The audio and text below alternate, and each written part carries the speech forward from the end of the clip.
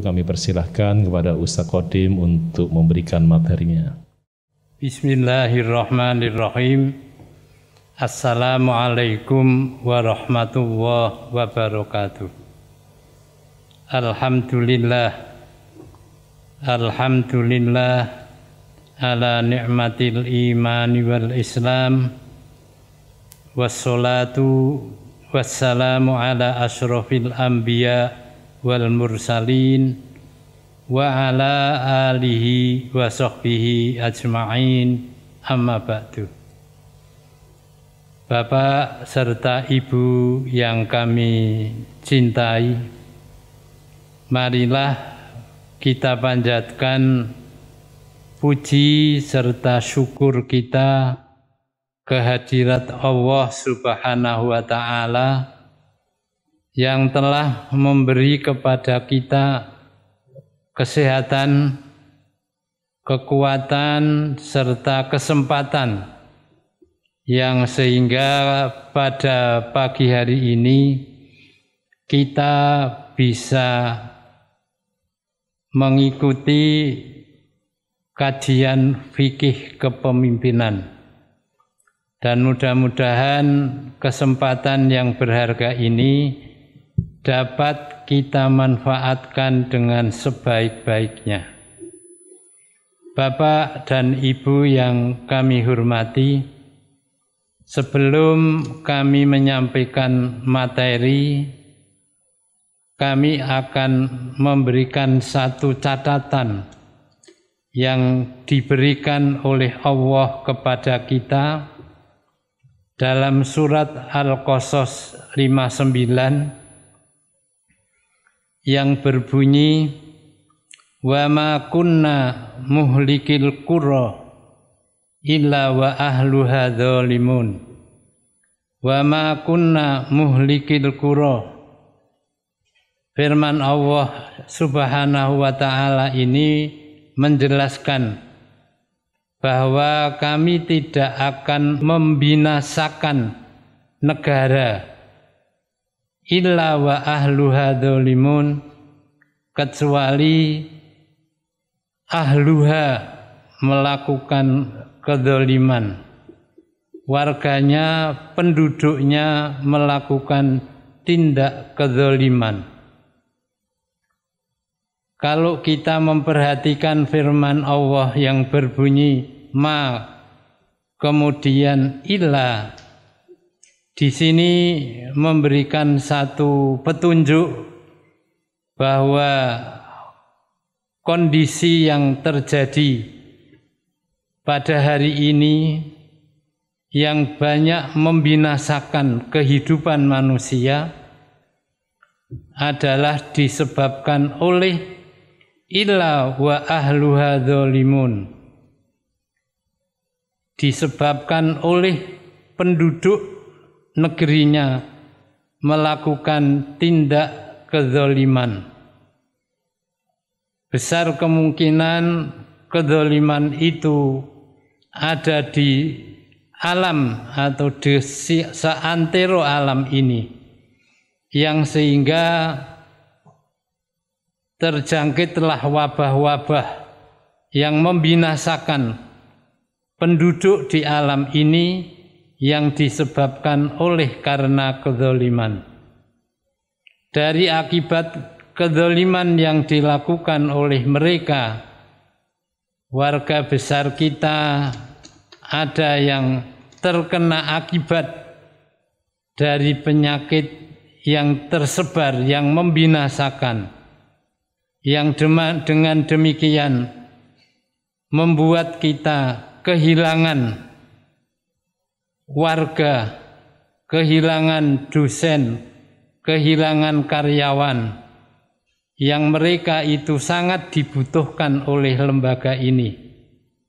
Seperti yang kita tahu di Fakultas Agama ada dua kiai yaitu Ustadz Yasin As'ari. Beliau meninggal lebih dahulu diikuti oleh Ustadz Sufyan Sauri Diikuti yang terakhir pakar keilmuan yaitu Profesor Dr. Taufik Rahman yang oleh Dekan Fakultas Kedokteran beliau belum ada penggantinya. Betapa Unisula kehilangan orang-orang yang terbaik, orang-orang yang bisa membantu untuk menegakkan keilmuan di dunia ilmu pendidikan. Ada sebuah ungkapan wan nasu alfun minhum kawahid wa wahid ka alfi in amru anna bahwa seribu orang ya uh, seorang manusia yang mempunyai keahlian di satu bidang keilmuan yang dikembangkan di sebuah lembaga, di sebuah tempat manusia menuntut ilmu. Beliau meninggal dunia. Nilai seseorang yang meninggal dunia yang amat dibutuhkan itu satu diibaratkan seperti seribu orang.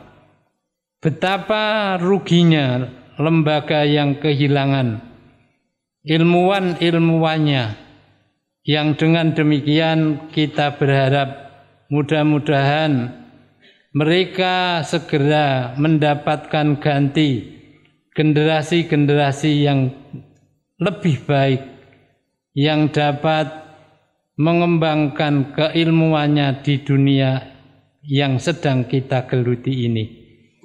Bapak dan Ibu sekalian, berikut saya akan menjelaskan firman Allah Subhanahu wa taala dalam surat Ar-Rahman yang di mana surat Ar-Rahman tersebut Allah Subhanahu wa taala banyak mengulang kata-katanya sampai dengan 31 kali.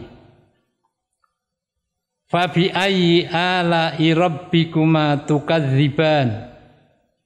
Maka nikmat Tuhanmu yang manakah yang kamu dustakan? Firman Allah ini diulang dalam surat Ar-Rahman 31 kali. Pasti kita semuanya bertanya-tanya, kenapa Fabi ayyi ala rabbikuma tukadziban diulang oleh Allah sampai dengan 31 kali. Ini menunjukkan bahwa nikmat Allah itu amat banyak. Nikmat Allah itu tidak bisa dihitung. Sejak kita hadir di dunia ini, kita telah dianugerahi nikmat Allah.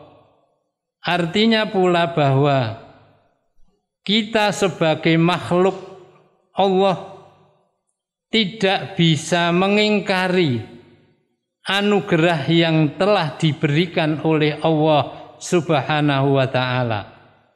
Betul-betul kita tidak bisa mengingkari. Kenapa? Karena banyaknya dan kita tidak bisa menghitungnya berapa betapa banyaknya nikmat. Wa atakum min kulli ma wa in ta'uddu ni'matallahi la tuhsuha. Di sini kita melihat Allah mengingatkan lagi bahwa kita tidak mungkin bisa memerinci, menghitung nikmat Allah. Kita tidak bisa. Bapak dan Ibu yang kami hormati. 31 kali diulang oleh Allah dalam surat Ar-Rahman.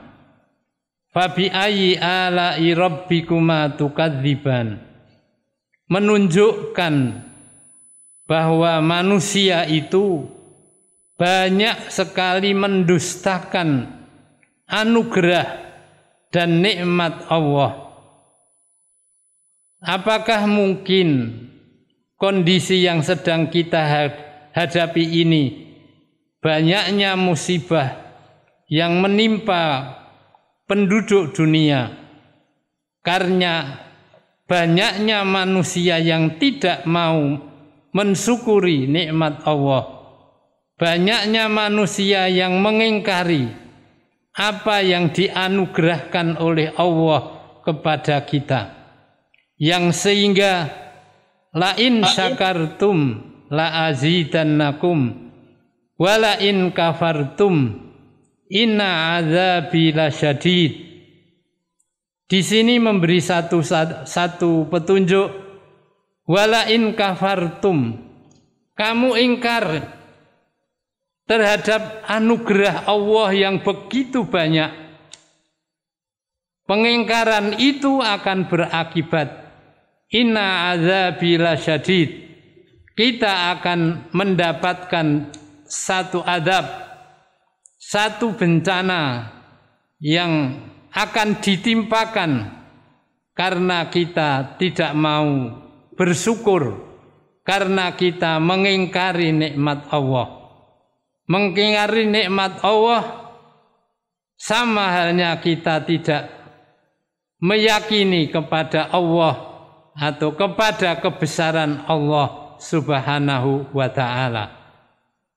Mengingkari bahwa Allah itu adalah Ar-Rahman, Ar-Rahim, Maha Pengasih, Maha Penyayang. Orang sudah disayangi, dikasihi, diberi apa yang diminta, malahan mengingkari apa yang telah dianugerahkan oleh Allah kepada hamba-hambanya.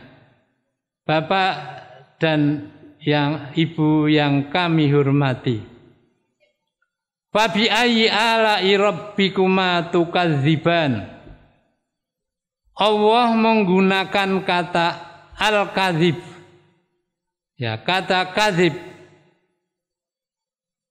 Allah menggunakan kata kata kadzib ini artinya mendustai. Ya, artinya mendustai. Mendustai apa? Mendustai bahwa nikmat Allah tidak mau disyukuri. Dusta, ingkar, ya dusta. Kata dusta ini sebenarnya mempunyai satu kandungan makna bahwa kita itu semuanya tahu bahwa apa yang diperoleh oleh kita, apa yang kita dapatkan hari ini, hari yang lalu, itu adalah anugerah Allah. Tetapi kita tidak mau mensyukuri, bahkan mengingkari apa yang ada pada kita semuanya. Satu contoh, kita mendapatkan rizki yang banyak karena usaha yang kita lakukan. Bahasanya orang Jawa kalau orang usaha sungguh-sungguh ndas go sikil sikil dinggundas tidak mengenal waktu tidak mengenal payah sehingga dia memperoleh dari usahanya itu hasil yang banyak rizki yang banyak. Dari apa yang dia peroleh itu Kemudian dia berkata bahwa saya begini ini karena usaha keras saya, usaha mati-matian saya untuk memperoleh rezeki, tidak mengenal waktu, tidak mengenal siang malam. Dia di sini mengandalkan bahwa yang menentukan hasil usahanya itu adalah dirinya mengabaikan Allah Subhanahu wa taala. Dia mengabaikan bahwa di situ ada uh, ada anugerah Allah yang dia tidak memahami bahwa yang dia peroleh adalah tidak lepas dari campur tangan Tuhan.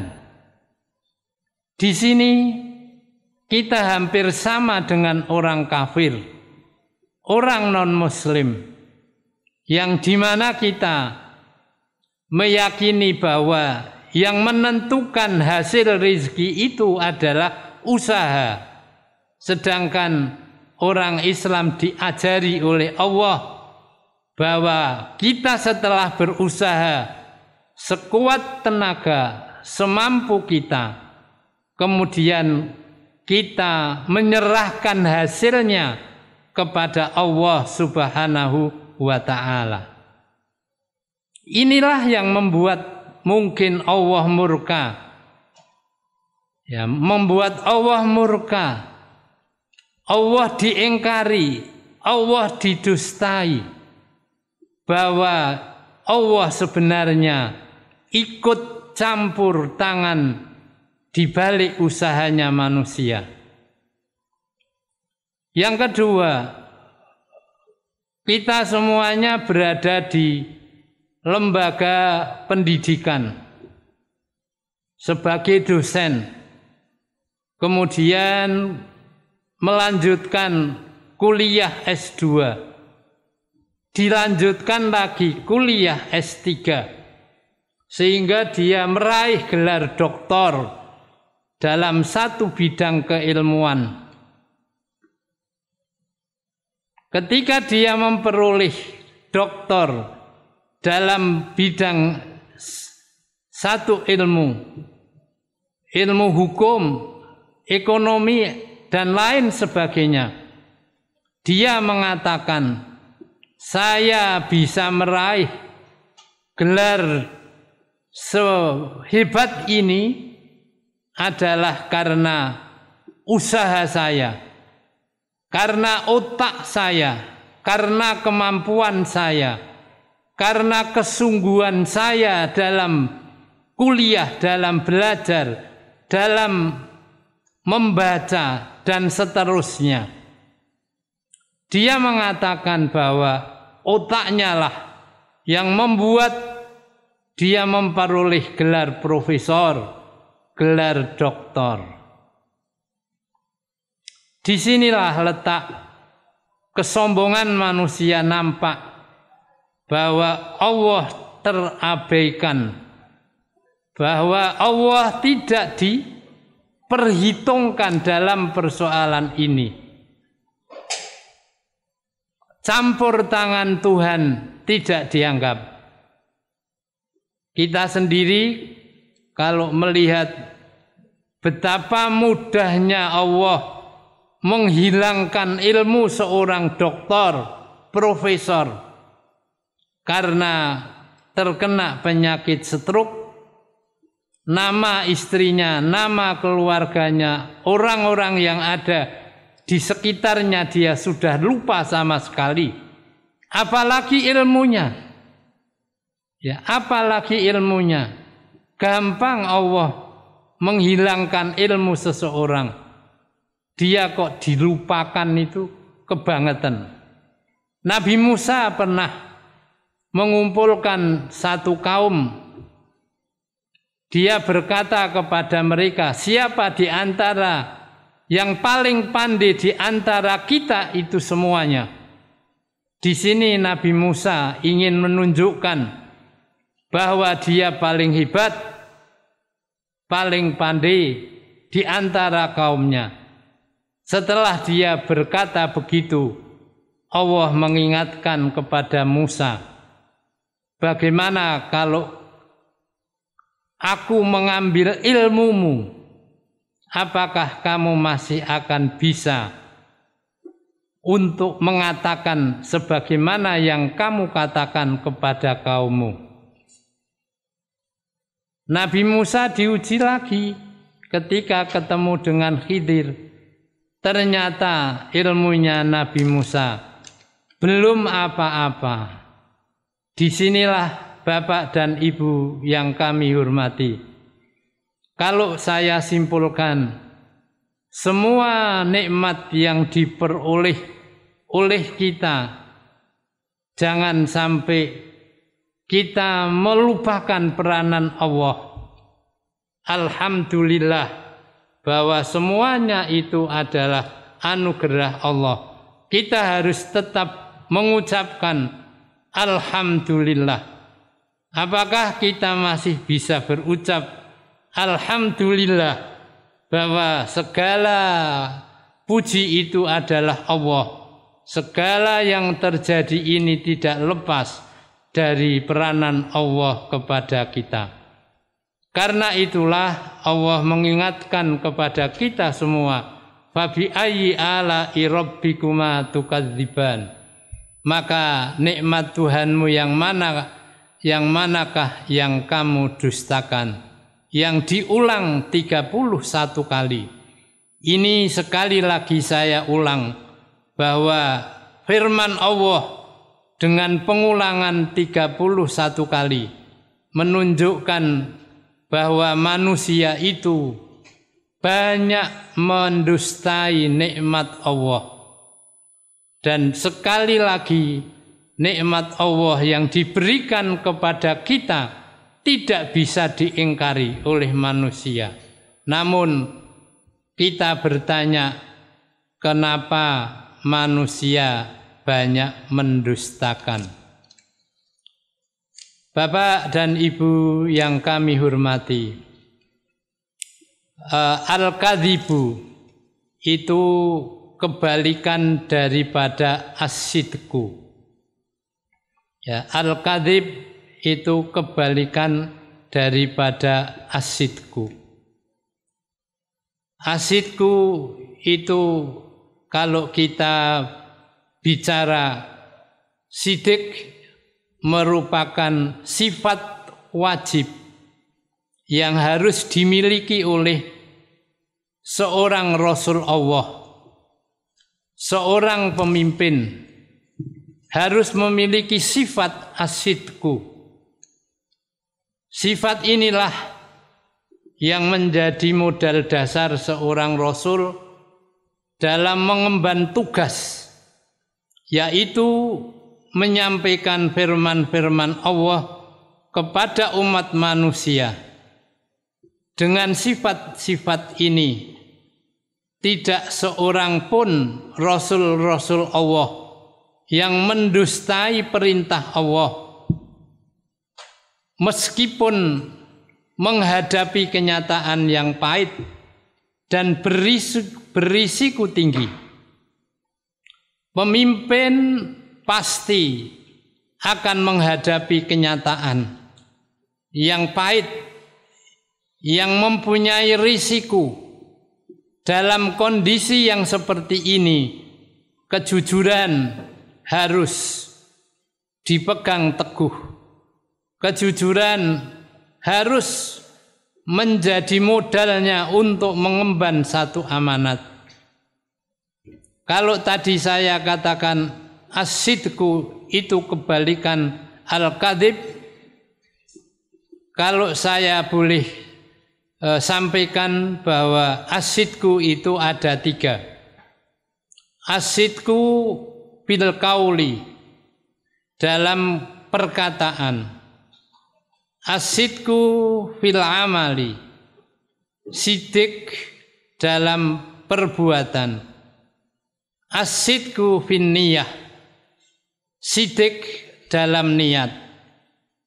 Kenapa sidik harus menjadi pegangan kita semua? Karena sidik itu akan menjadikan kita dipercaya oleh umat manusia dipercaya oleh orang lain. Dan yang kedua sidik itu akan memperoleh ridhonya Allah. Dan yang paling tidak boleh kita ingkari bahwa sidik itu akan memberi kepada kita keberanian dalam menghadapi semua peristiwa. Saja'ah fi muwajahatil waqi. Keberanian itu perlu dimiliki oleh siapa pun, terutama oleh pemimpin. Dan pemimpin yang bisa menghadapi persoalan adalah pemimpin yang sidik. Bukan pemimpin yang fabi ayyi ala irabbikuma tukadziban. Kadib atau dusta adalah orang yang tidak mempunyai kepercayaan diri dalam menghadapi peristiwa-peristiwa, persoalan-persoalan dan dusta atau al-kadib menunjukkan sebuah kebohongan dan keraguan dalam setiap melangkah. Oleh karena itu, oh, tidak salah kiranya Allah Subhanahu wa taala dalam firman-Nya surat dalam surat Ar-Rahman dan firman-Nya yang berbunyi fabi ayyi ala rabbikuma tukadziban. Di sini 31 kali Allah mengulang kepada kita agar kita tidak memiliki sifat al-kadzib. Rasulullah menjelaskan bahwa kejujuran itu menunjukkan pribadi seseorang yang berani menghadapi kenyataan, sedangkan dusta atau pembohong menunjukkan pribadi penakut dan pribadi yang tidak mempunyai kepercayaan diri dalam menghadapi kenyataan. Dan sifat pendusta ini sangat dibenci oleh Rasul, sangat dibenci oleh Allah. Kenapa? Karena pendusta atau al-kadib selalu mendorong manusia untuk berbuat maksiat dan selalu mendorong ke arah merusak dan jahat. Oleh karena itu, kita mempunyai catatan bahwa perbuatan dosa perbuatan jahat, perbuatan dolim selalu muncul dari mereka-mereka orang-orang yang berdusta. Jamaah yang dimuliakan Allah, mudah-mudahan apa yang kami sampaikan pada pagi hari ini bermanfaat bagi kita semuanya. Dan mudah-mudahan apa yang kami sampaikan pada hari ini menjadi modal dasar bagi para pemimpin, para tokoh-tokoh yang ada di Unisula dalam rangka mengemban amanah lembaga yang tercinta. Billahi taufik wal hidayah. Wassalamualaikum warahmatullahi wabarakatuh.